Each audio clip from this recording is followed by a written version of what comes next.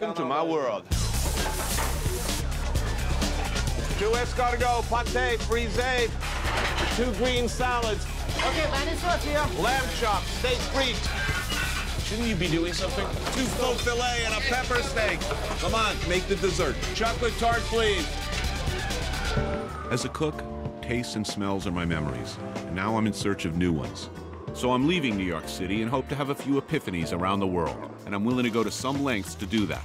I'm looking for extremes of emotion and experience. I'll try anything, I'll risk everything, I have nothing to lose.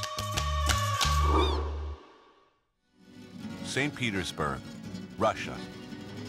This Western European styled city served as Russia's capital for two centuries before the Communist Revolution. Now, what does one do in Russia? Why am I in Russia anyway?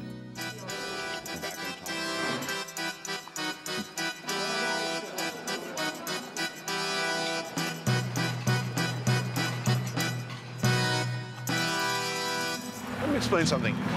The, the first good cook I knew, Alexei Getmanov, his name was. Very proud of the fact that he was Russian, and he was the first guy I knew who was really into food. And he really inspired me to actually get serious about food.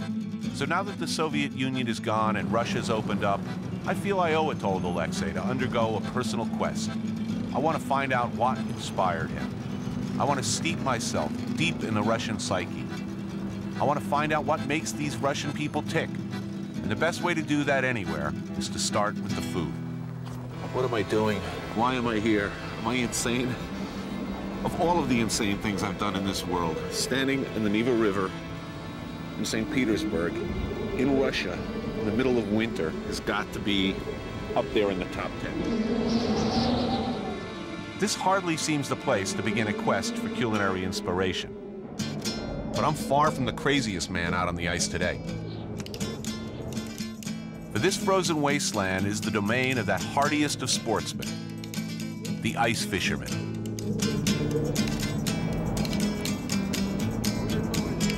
Even the bleakest parts of Russia are filled with slow-flowing, fish-filled waterways. So there's a long tradition of pulling dinner right out of the backyard. Ice fishing explained. Some build plastic tents to stay warm.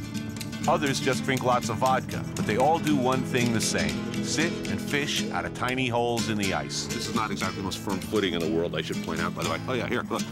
If you look through there close enough, you can see the frozen corpse of the last TV Food Network guy to come here, kind of clawing at the underside. I meet up with my Russian translator and guide, Zamir, who's arranged a rendezvous with two old salts, Vladimir and his pal Igor. how does he get through the ice?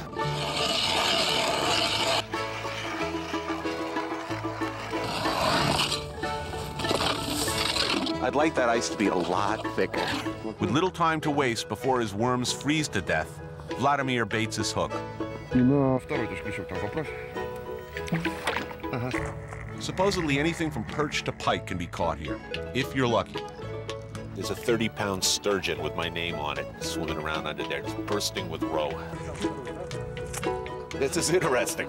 This is a mark of how cold it is here, okay? He has to keep skimming the water because it crystallizes and fills up with ice. You can actually see it freezing right in front of your eyes.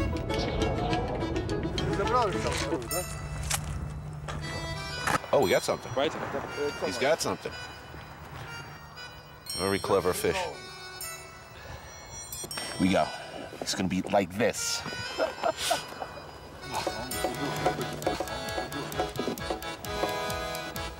Before I even realize it, Vladimir pulls up his catch.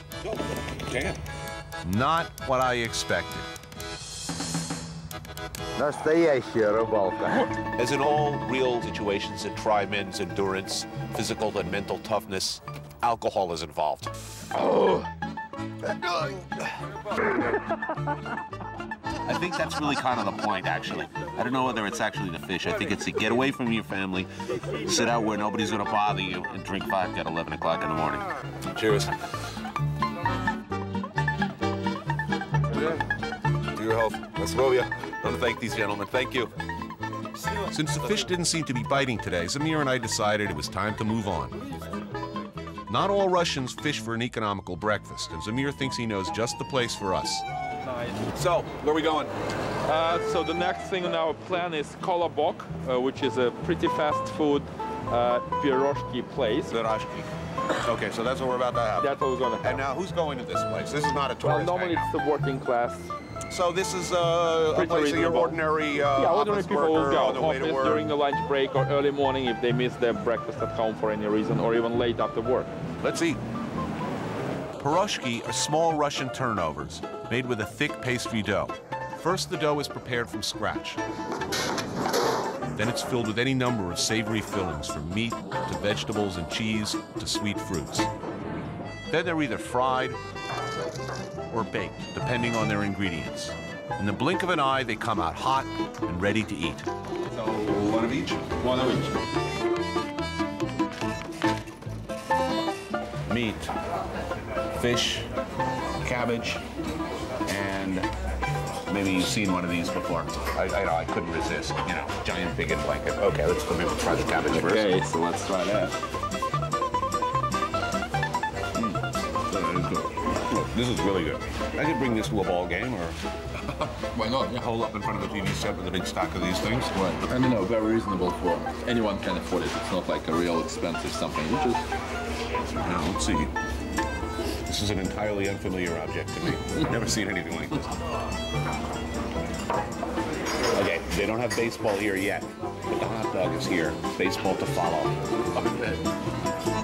You have all the necessary ingredients. I mean, you've got good beer, you've got hot dogs. What else do you need? That's my calling in life. After they kick me out of the kitchen and I'm blacklisted from television forever, I'm going to come here. I'm going to start a little league team. and start coaching the next generation of Russian baseball players.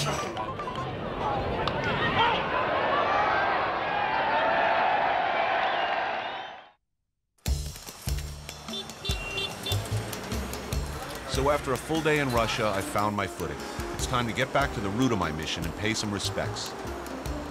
Well, my first exposure to Russian food in my young life was uh, in Provincetown. I was working with my good friend and mentor Alexei Getmanov, a, uh, a cook of Russian origin, who introduced me to a dish called kulabyak. So I asked Zamir to hook me up uh, with, uh, with some kulabyak, which he did, but uh, he will not be able to attend. So I'm going someplace I really don't know, meeting someone I also don't know, and uh, she's gonna cook me some kulabyak, I hear. Now, my directions were down Nevsky Prospect, take the turn, first door on the right of a very recognizable landmark, and there it is. This looks like it, the doorway under the golden arches.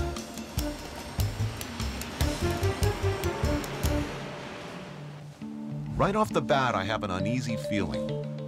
Kulabya.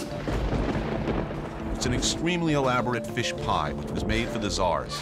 It requires hours and hours of work to prepare. It's the Frankenstein's monster of food.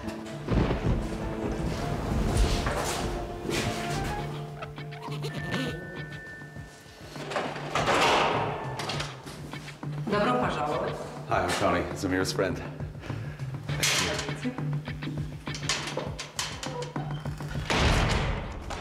Lubia is a friend of a friend of a friend of Zamir's. Because Kulabyak is so elaborate, she's the only person Zamir could find in all of St. Petersburg who's available to make it for me. And she volunteered to do it simply for the joy of its creation. First, she spends at least an hour making the pastry dough from scratch. Then she spends a couple more hours assembling an exhaustive list of ingredients for the filling, each of which requires its own initial preparation. Most important of these being the fish, which is the main ingredient.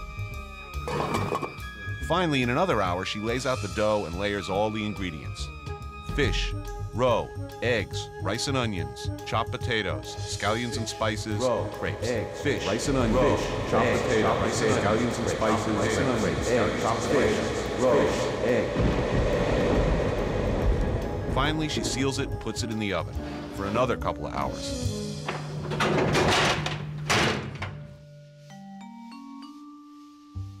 Took a little longer than I anticipated. Uh, and it's a little big. Uh, I don't think I can finish that. And I see for beverage, oh yeah, big surprise here. After five hours, I'm finally served the kulubiak. Has anyone ever heard of water in this country? Unfortunately, I no longer have an appetite. Not only am I without an appetite, I'm without company. Well, I'm alone. I don't have to watch my table manners. Lubia has gone out, but when she returns to see me off, she's going to expect a large dent in the kulubiak after all her work, and I don't want to disappoint her. But something's wrong. This is not as flaky and delicate as I seem to recall. This is going to be a long night. Maybe a little vodka to wash it down. Mm.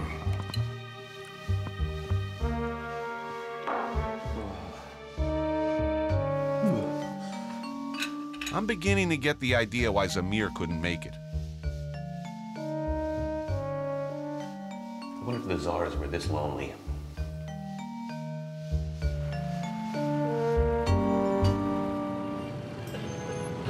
After a rough night alone, battling jet lag and kulubiak, a dish the Russians can keep, frankly, I'm feeling a little under the weather. And in Russia, that's saying something. Zamir has promised me a special day that he claims will recoup my body and my palate. It begins with a trip to the banya, a traditional Russian bathhouse. There's a little more to a banya than sweating in a towel. Okay, so it's about, about or close to zero degree. It's real cold. We're on a frozen lake, and, and we're about to get healthy Russian style. As I understand it, I'm going to uh, sit in a sauna and get nice and hot.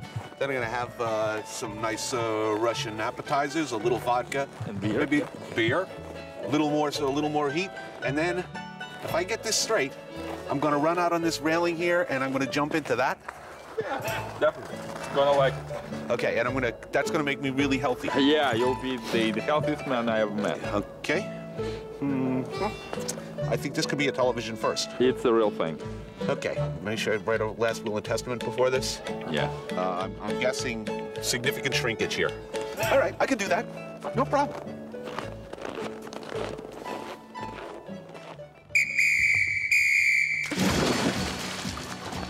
A Russian banya is not your local YMCA.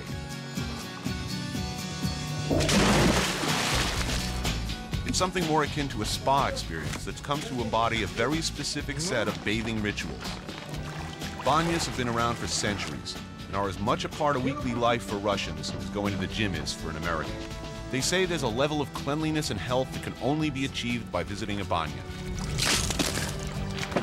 First part of the banya ritual is to warm up in the sauna, then hit the steam room. Heat. Snacks will be here. Essential ingredient over here. It's going to take a hell of a lot of this to get me in the uh, into the pool. All right, I'm ready. Okay. Good luck to us.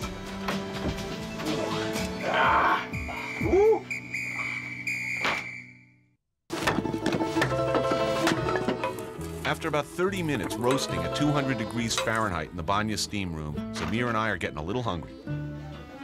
Ah. Ooh, kind of hot. Oh, that looks good. That's Rovia. That's Rovia. William Zaroy. Turns out that in Russia, drinks and food can be part of the sauna experience. Just smell it, you know, it really gives you some kind of oh, understanding. Oh, that's good. Some smoked meat country bread, some smoked. What kind of fish is that? Lish. That's the Russian one. I'm not sure whether you have any analog of that. Take all the insides out. And it's ready to go. Oh, that is good. Just you have to really enjoy it, you know. Take this tiny bit, do it like this, you know. Probably, you know, when your salt gets out in the steam, Right. kind of compensate the shortage of it with the fish Right. product. The banya keeps getting better and better. Olga arrives for what I'm told is a relaxing and purifying massage. I'd like to use the, the branches of birch for a special message, special Russian message. Yeah, special message, all right. Something like, we have ways of making you talk. Some massage, they dip tree branches in water and beat the crap out of you with them. It actually wasn't so bad at first. Then it may be more strong if you want. No, a little bit more strong is fine.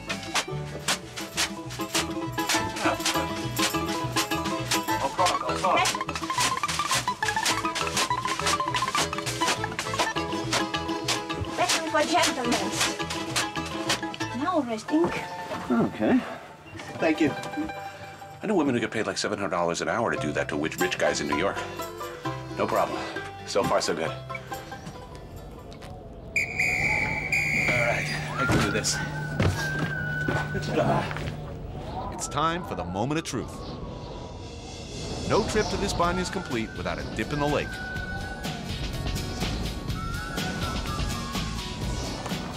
So far, so good. Oh. All right. Okay. Not so far, so good. Oh. Oh. Ah, my jaw's frozen. All your pores shrink up real tight.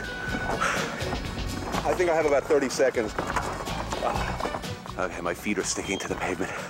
Just starting to feel it on my feet. Ah, I'll let you know when I feel it. I like this lifestyle. I'm telling you, I could do this. I could have one of these in my backyard if I lived up here. Do this, you know, a few times a week. Yeah. How long have people been doing this, jumping into ice water? For hundreds of years. Zamir and I end up hanging around for a few hours, just chilling out. But when the smoked fish runs out and the sun hits the horizon, Zamir reminds me that we have reservations to keep.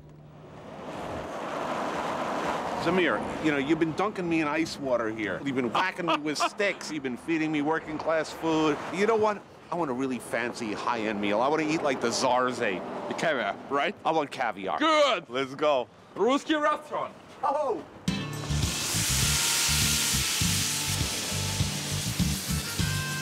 Ruski restaurant is haute cuisine, top of the line specialty dining that unfortunately most Russians would not be able to afford.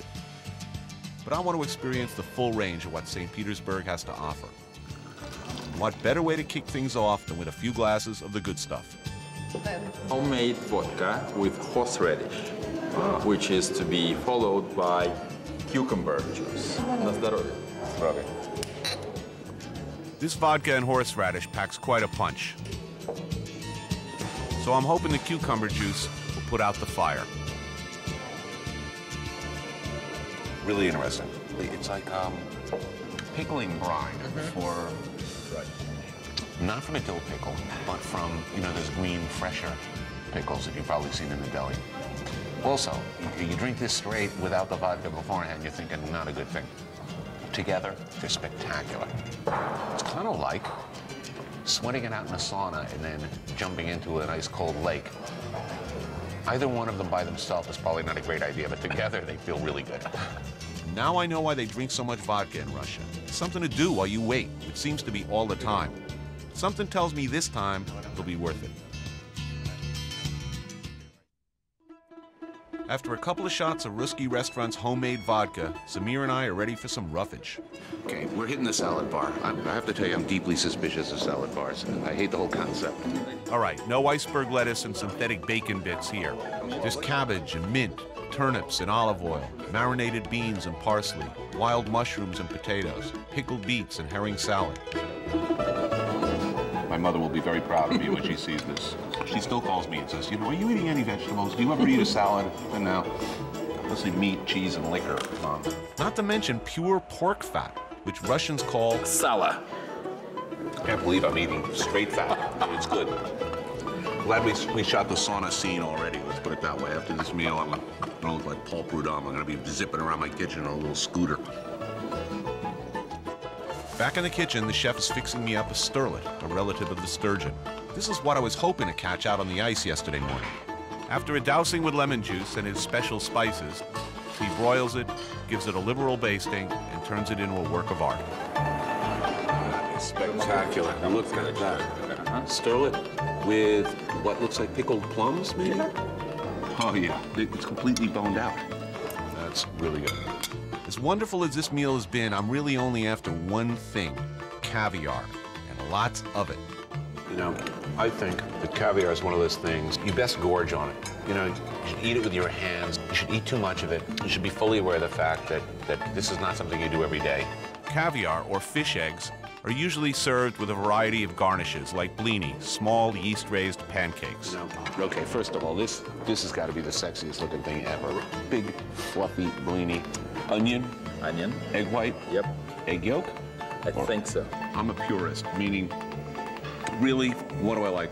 I like the caviar, I like the blini. All of this other uh, tchotchkes I can do without. So as I'm shoveling down the caviar, the waitress informs Zamir that there's a little problem, a slight oversight on our part. Try to picture this happening in New York. Your waitress coming over to you and saying, you know, we don't think you've had enough to drink. That's the rocket. That's the rocket. I love this country. Zamir, you rock. From frozen lakes to fast food to the finest restaurants around, I'm starting to understand where Alexei's passion for food came from. Simple foods, always prepared in interesting ways, prepared with care that taste delicious. And that's enough for me to make a return trip.